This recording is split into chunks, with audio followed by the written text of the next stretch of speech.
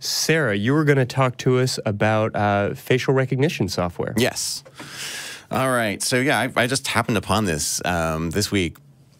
Uh, I don't even remember how, but I just stumbled on an article about uh, the city of San Francisco recently um, put forth a, a measure to ban the use of facial recognition technology from um, public works, police, and uh, you know gov- government institutions for the city. Is this preemptive? Is this too far ahead, or is this something that was actually already happening? Oh, it's already happening. Yeah, um, yeah. They're they're they're making use of it, and it's becoming more and more popular and more and more in use. And so, some places and some organizations, the ACL, ACLU notably, um, have started to be like, wait, hold on, this this could be uh, this could be abused. Um, and so the city of San Francisco decided, hey, we're gonna take a measure. We're gonna stop and we're just gonna not let any of that happen within our city limits. Pump the brakes. Yeah. Um, and there's other cities that are starting to fall in line with that, and they're they're putting such measures on their books as well to see if they'll get voted on. Um, and so I was looking into it, and just all the different arguments on both sides are, are it's just fascinating because you know you've got the ACLU who they've like ran through facial recognition, facial recognition. I can talk software. Um, and they like matched uh, congressional photos with um, like a database, and they got about a five percent uh, error. So there's a lot of false positives with this technology right yeah, like five percent sounds like a small amount, but you realize, you know, if you're if you're scanning through people, that's one in twenty people that you are getting wrong. Yeah. and you know potentially ruining their lives. So that's that's a bit much.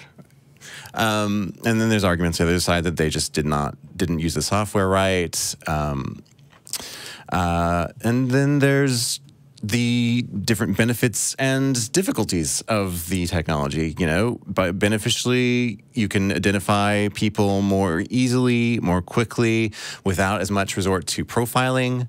Um, and you can identify, for instance, sex offenders um, much more easily in areas where they would be dangerous, like around schools, et cetera, like that.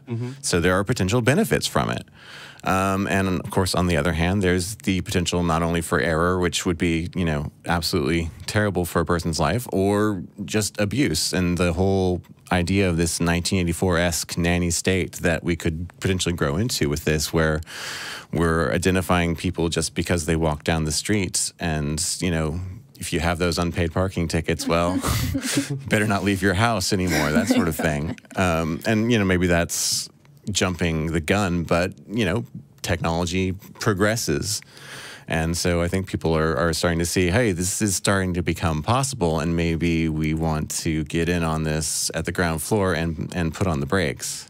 Right. Can I ask a question? Um, No. Do you know if there's a, um, uh, a party line that is that is being found here? Is one party pro facial recognition and one is anti facial recognition? I feel like it could go either way, and in my head, there's not any kind of like. Right. I don't feel like it's in the public eye enough Yeah. yet for there to be a party line. I think that when it is, you know, a nationally talked about subject more, then there's definitely going to be, well, we're against it, well, we're for it, sort of thing. Uh, but right now, it's it's it's more individualized, and uh, so it's. I, I think it's going to come out where it's more the conservatives are pro uh, facial recognition um, because it's more the sort of uh, you know pro police, pro um, law and order restriction sort of thing. Um, and then there, the like libertarian subsection of that will be like, no, no, no, Yeah, right. right. So, which is you know something that's already happening Okay. for other technologies. Yeah, you know, I we we think about uh, what's going on in China right now and the Mm-hmm. very real civil rights abuses, and we recognize that our own country is not immune uh, to detention camps, to internments, to things that we uh, you know would always like to say is some Orwellian future that would never come to pass. 1984 is already come and gone, and it's not a police state. But we know that we have the opportunity and the potential to make terrible, terrible humanitarian mistakes. And so, you know, creating a, a more sophisticated, more fancy uh, tool to mess up with is a is a scary thing. I guess I am intrigued by the notion that you know any new technology should be applied responsibly.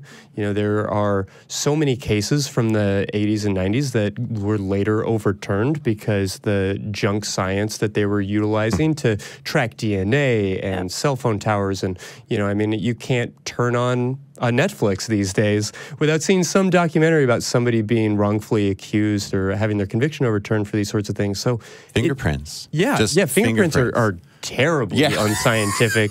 But that that brings me to to I think my real point is even though I hope that this would be responsibly applied, and despite our tr- and I know our track record is not great, frankly, um, I I'm pro science and I'm pro a believer in our ability to uh, complete to advance this technology to a point where it is going to be sufficiently accurate when responsibly used in order to avoid things like racial profiling, in order to avoid things like a uh, police detective sort of assuming he knows who he's looking for and then tailoring Yeah. all of the narrative to fit that idea.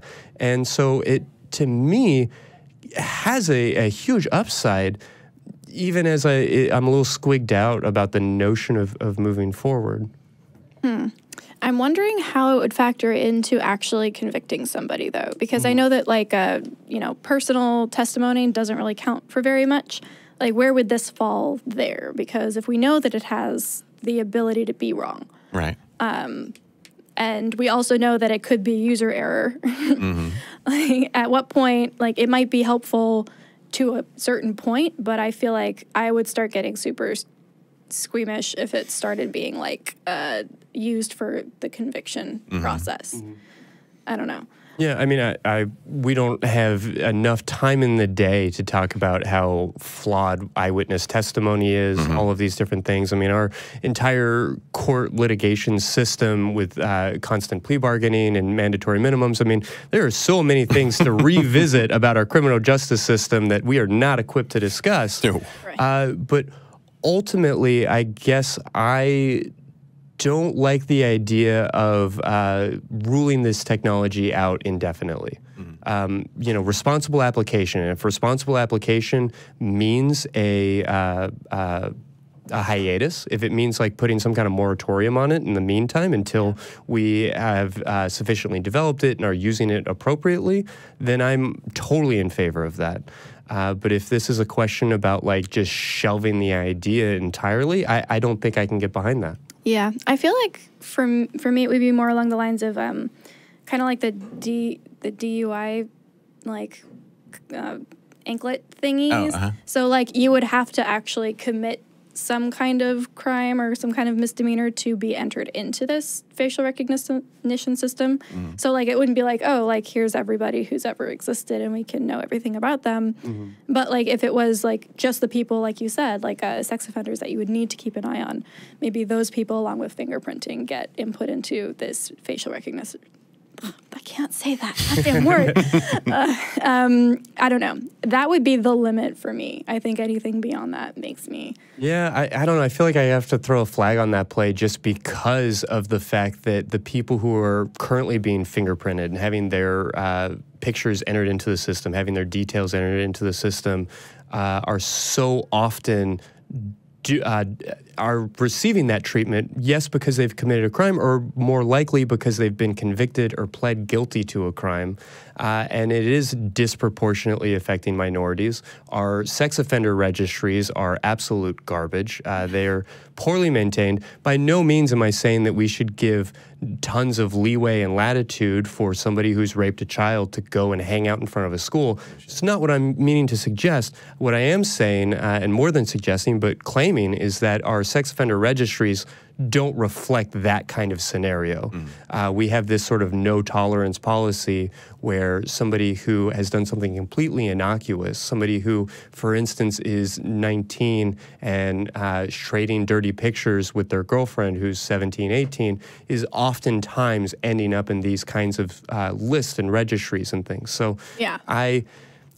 I, am not dismissing where you're coming from, but I, I don't see that as a solution personally. Well, yeah, like you said with the uh, the whole conviction process, like mm-hmm. it's it's a it's a mess. Like all of it is a mess, and it's way too much to get into tonight. Sure. But um, yeah, I agree. I think that this is a level of sophistication that maybe we are not equipped to use yet, just because we have so many other things we should be fixing first. Um, but eventually, I mean, if we fix everything else, then sure. uh, so, uh, if we have to make a ruling, uh, where do we stand on the appropriateness of this ban or uh, the idea of other cities, Austin, for instance, enacting a similar one? Uh, for now, I think that the ban should hold. Yeah. Yeah. Sarah. Um, a lot of people don't know this. I'm I'm kind of a luddite. I am very much in favor of the precautionary principle as far as uh, new technologies go. Mm-hmm. Um, I don't believe that technology is inherently neutral at all, um, and I think that this technology potentially, you know, has favor of putting more power in the hands of those with the ability to have centralized, uh, restricted to outsiders databases um, and I don't think that's a good thing. So I very much am in favor of moratoriums, of uh, bans until we, you know, have a lot more, a lot better um, infrastructure in place for that to be used correctly and ethically. And I'm, I'm sorry, Skynet is patching in right now to uh, inform my vote. Uh, I guess I, I, would say that uh, I'm in favor of continuing to move forward, uh, of uh, expanding the use of this technology, of, of really any new technology, uh, and focusing more on reform rather than restriction in, in that sense. Uh, so hey, we found something that yes. we very softly don't feel exactly yeah. the same way about. Uh, cool, cool, cool, Good cool. Enough. Right.